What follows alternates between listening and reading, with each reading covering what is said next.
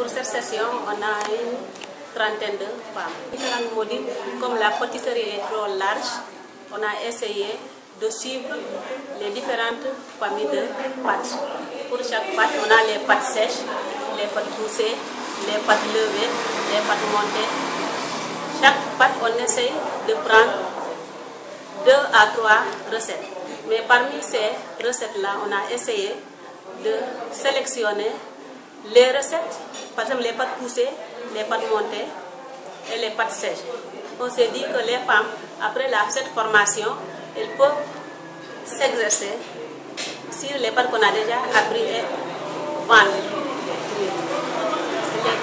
Avec les pâtes là, elles peuvent confectionner quelque chose pour vendre. Ils ne peuvent pas être totalement opérationnels, mais avec le peu qu'elles ont appris, comme je vous l'avais dit, on a insisté sur une certaine de pâtes. Par exemple, les pâtes poussées, ce n'est pas difficile à faire. Ça ne demande pas une longue formation pour pouvoir les réaliser. On a insisté sur les pâtes poussées, les pâtes sèches et les pâtes montées.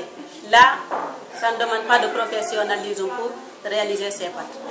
Elles sont débutantes pour la plupart d'entre elles, mais d'autres ont des notions sur la pâtisserie. Oui. Mais leur notion n'est pas approfondie. C'est au cours des pratiques qu'on a découvert que leur n'ont pas la main totale. Après cette formation, si on a une autre possibilité, on fera une deuxième formation. 10 jours, ça ne suffit pas.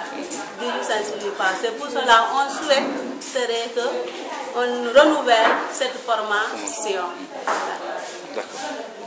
Je suis ici comme formateur en, restauration.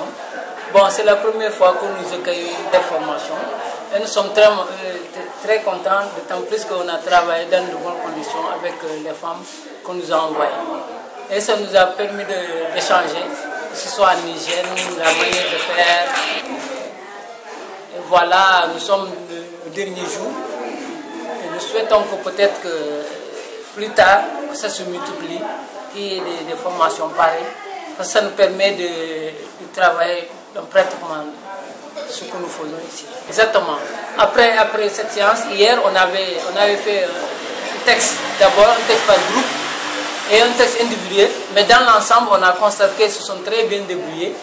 C'est vrai que dans toute formation, bon, les gens n'ont pas les mêmes niveaux, les gens n'ont pas les mêmes capacités de, de, de capter vite, mais dans l'ensemble, je vois qu'elles se sont très bien débrouillées. Et qu'elles seront opérationnelles au terme Oui, de elles seront opérationnelles. Elles seront opérationnelles. Une fois à la maison, ou je ne sais pas là où elles seront regroupées, peuvent faire de, beaucoup de choses. Ouais. Avec une bonne collaboration, elles peuvent faire beaucoup de choses.